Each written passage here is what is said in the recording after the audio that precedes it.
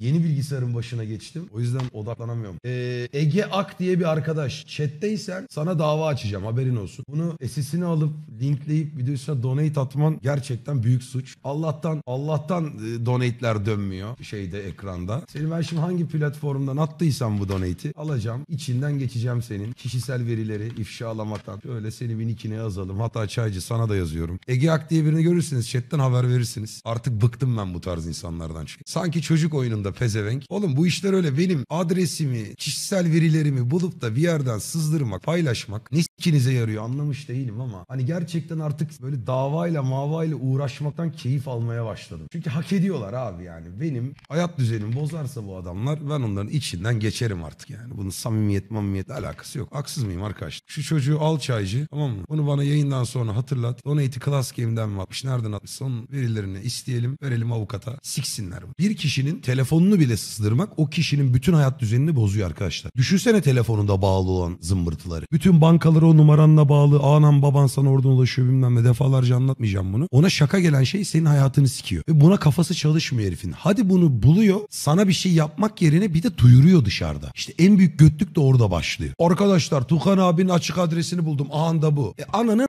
sok onu yani hani. Ne oldu yani sen şimdi beni duyurunca? Hadi pezevenk sen yaydın benim bir takık bir herifim var. Geldik burada kafa kafaya verdik. Ben onu indirdim o beni indirdi. Sen vereceksin hesabını bunu. Ne yazık ki insanımız bu konularda çok zayıf ya. Yani çok zayıf. Allah korusun yok oğlum biz ne tehditler neler yaşıyoruz biz, biz bilmiyorsunuz ki. Ama bu geri zekalılar bunları çocuk oyunu sanıyorlar. İşte ben alıştım kızmıyorum artık. Direkt veriyorum.